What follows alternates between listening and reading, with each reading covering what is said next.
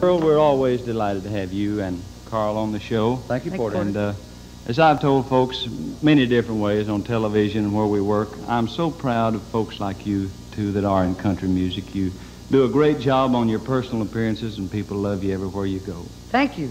We and love uh, you too. I, that's, I think, one of the reasons that you work a lot, and uh, why you've got a ranch out here that you don't spend as much time on as you'd like to, I guess. That's true, yes. But uh, anyway, seems like I'm doing all the talking. Why don't you all sing a little for us? All right, we'd like to do Would one you- side of the new one, Porter. This has uh, been a big one, too. It's called Punish Me Tomorrow.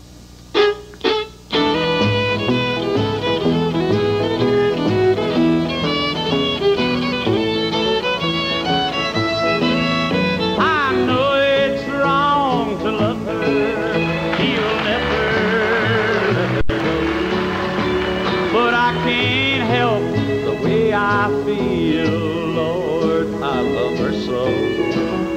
And though the world condemns me, to me this love is right.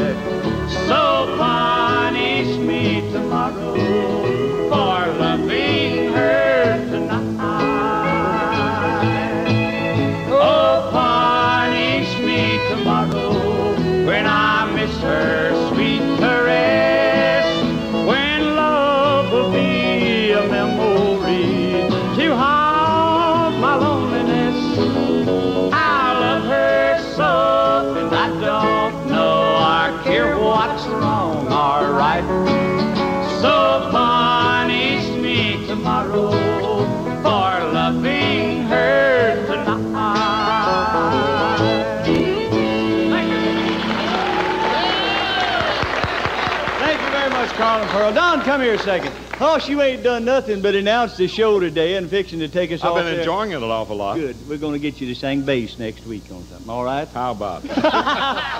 Folks, that's all of our time. Thanks, Carl and Pearl, Miss Dolly, Tilly, and everybody.